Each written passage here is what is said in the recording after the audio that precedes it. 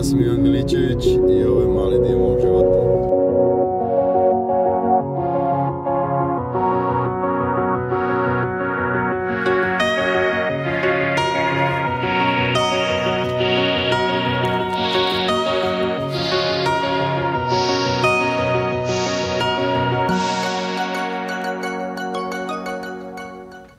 Se ukratko predstaviti našim čitateljima tko si, čim se baviš i kako je moguće da jedan ferovac postao fitness trener. A ja osobno ne mislim da postoje ferovci, ekonomisti, pravnici. Mislim da ne postoje generalno a, definirane životne uloge. Tako da čovjek bi se trebao baviti onim za šta je predodređen, a ako si uspio još završiti super edukacije za to, znači da imaš i nekakav papir koji je nekakva država definirala kao bitni segment uh, edukacijskog uh, certificiranja. Budiš svijest u ljudima u odnosu uma i tijela kako im i na koji način pomažeš. Generalno ne razmišljam da ja budim osobno svijest u nekome. Smatram da svojim primjerom, odnosno svojim uh, životom, svojim načinom života i dijeljenjem istoga, otvoreno prema svima, mislim da jednostavno ljudi mogu vidjeti jednostavan način kako postoji i mehanizam, odnosno proces razmišljanja, da njima bude ugodnije, da im bude radosnije i da im život bude jednostavno uh, zabavniji ili jednostavniji. Tako da, buditi svijest u nekome ne možeš, ali nekoga bi trebao inspirirati. Mislim da nema ništa ljepše, nema ništa ljepše od toga. Idemo dalje. Sigurni smo da sve što radiš, radiš iz ljubavi prema sportu i pokretu. Kako si pokrenuo svoju strast i kada je tvoja avantura zvana zdravo ljudsko tijelo započela? Aj, aj. Uvijek sam bio povezan sa prirodom. Baš uvijek. Dosta sam senzibilan. Imam jake, jake ovaj, jaka osjetila, možda zato što sam nula negativna, to je najstarija krvna grupa na svijetu, pa možda i zbog toga, ali nekako u prirodi se osjećam sigurno, ispunjeno i tijelo i um su nešto što su naša kreacija, naše životno djelo. Ako gledamo cvijet, njegov smisao je da ostvari svoj maksimalni cvat i onda nakon toga lagano odumire. Ja vjerujem da je tako sa svim bićima na ovom svijetu. A, nužno je ostvariti svoj maksimalni potencijal, a što više mi rastemo iz dana u dan, odnosno što dulje to traje, ja vjerujem i da će onaj proces odumiranja trajati i odnosno da će sporije se kretati. Evo, to, je, to je moje malo mišljenje. Idemo dalje. Nezgodno je malo držati kameru i raditi to, pogotovo kad kamera. Dobro je biti u formi kad držiš nešto što je teško. Kažu da tijelo oboljeva kad se prepustimo lošim navikama, na broj neke koje nam ne služe predloži načine kako ih promijeniti. Tijelo oboljeva svakako kada mi nismo u balansu. balans, često spominjena riječ što se mi više trudimo držati nekakvu iluziju uh, našeg života, što se mi dulje trudimo držati um, zamišljeni, zamišljeni scenarij našeg života, to će nam više energije biti potrebno za to. I tijelo će nam se umoriti. U jednom trenutku um, potrebe za energijom, za održavanje tog balansa će biti jednostavno prevelike. Biće prezahtjevne, bit će e, toliko zahtjevno da će tijelo pokušavati na drugačiji način objasniti e, tebi, meni, bilo kome da je vrijeme da staneš i okreneš se. Između ostaloga to je jedan od e, razloga zašto sam ja imao toliko ozljeda. Imao sam ovo, mislim imam dan danas nevjerojatno veliku energiju. Energiju, isto riječ koja se koristi često. Ajmo reći, jako puno stvari mogu obavljati u jedinici vremena i, i da, da, to radim sa ono sa velikom strašću. I u tom trenutku kad imaš ti tako recimo velike sposobnosti, ono što ti se desi je jednostavno pregoriš, preopteretiš se i ozljediš se. Kamera, gotovo.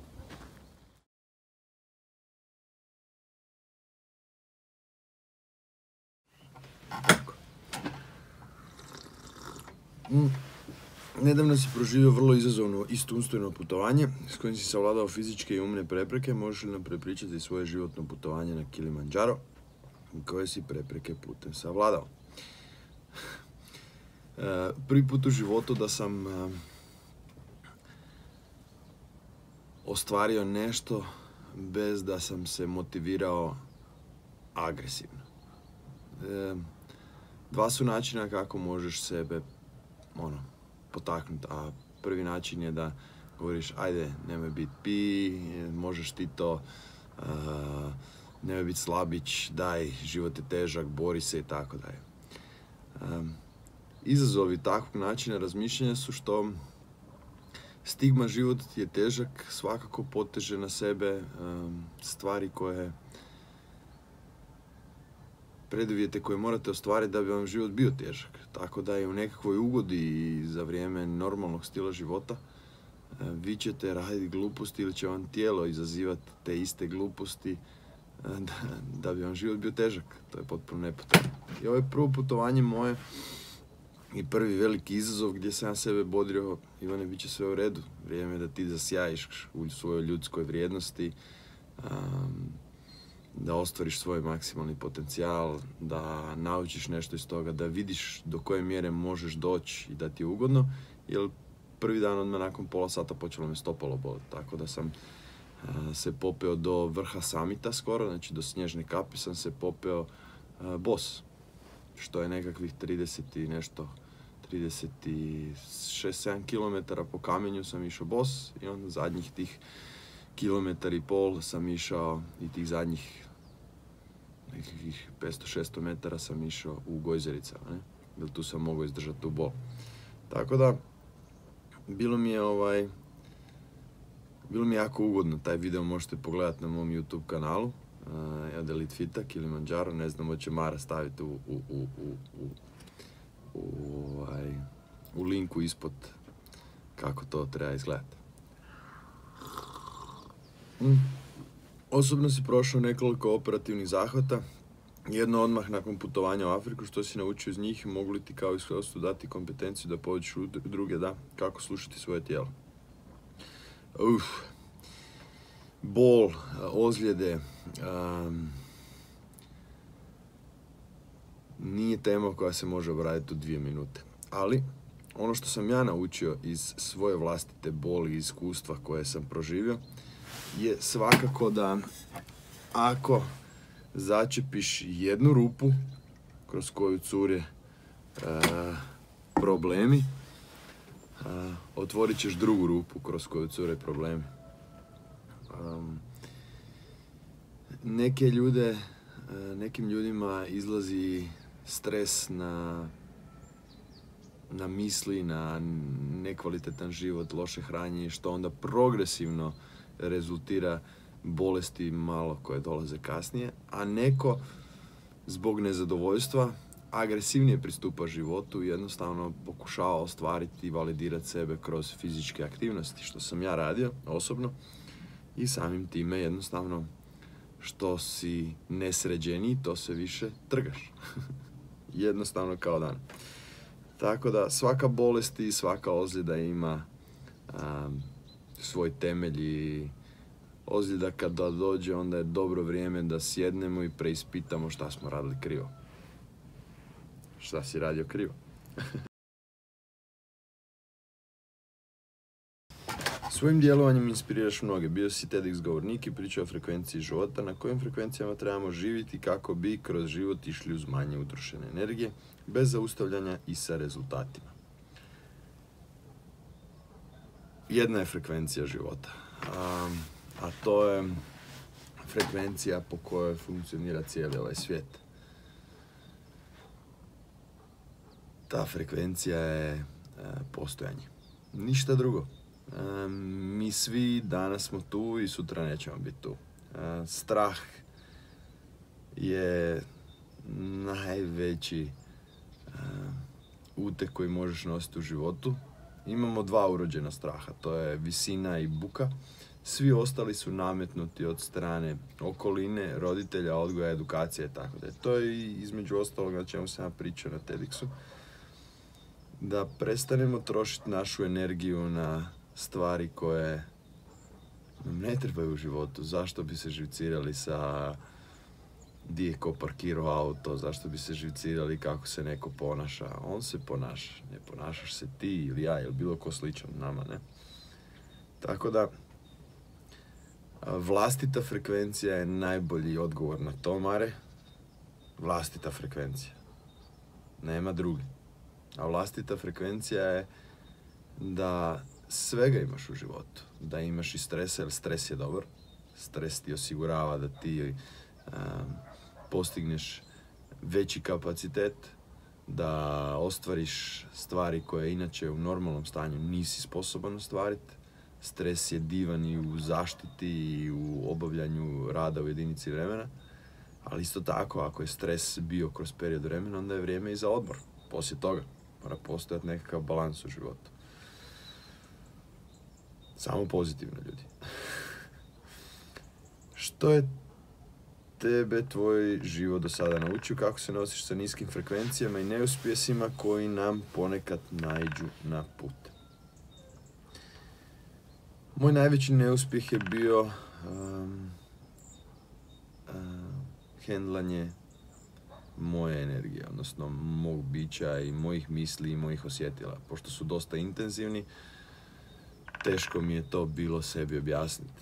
Tako da je sve proizlazi iz toga, to je bio uzrok a nekakve materijalne neuspjehe ili niske frekvencije lošeg ponašanja drugih ljudi mm, generalno to nema veze apsolutno ništa s nama ne? tako da mm, jednostavno ne dozvoljavam da ista što je vani utječe na način kako se ja osjećam iznutra.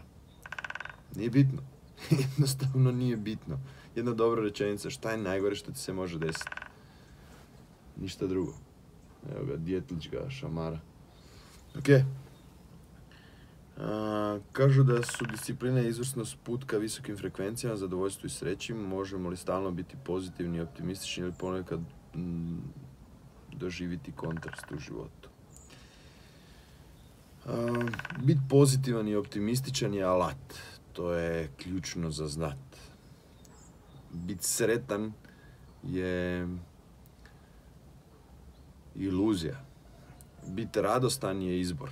A sreća je impuls um, velike količine okupljene energije koja tebi hormonalno zadovoljava tijelo do te razine da si ti u disbalansu. Isto je i tuga. Ne? Isto je i bilo kakav intenzivni osjećaj i oni služe tu da bi nam pomogli da primijetimo intenzitete u vlastitom životu. Ovo sam baš dobro rekao, super si to napravio. Um, tako da disciplina i izvrsnost je nužnost da bi mi ostvarili vlastiti puni potencijal. Vraćamo se ponovo na postojanje. Smisao postojanja nije ostvarenje materijalnog potencijala, nije ostvarenje društvenog potencijala, nije ostvarenje obiteljskog ili bilo kakvog potencijala koje je nametnuto od strane društva. Ostvarenje potencijala je da ti kao biće budeš nevjerovatan, izvrstan. A disciplina se usko graniči sa, sa obsesijom. Ne? Tako da biti discipliniran znači biti e, u dobrom odnosu sam sa sobom.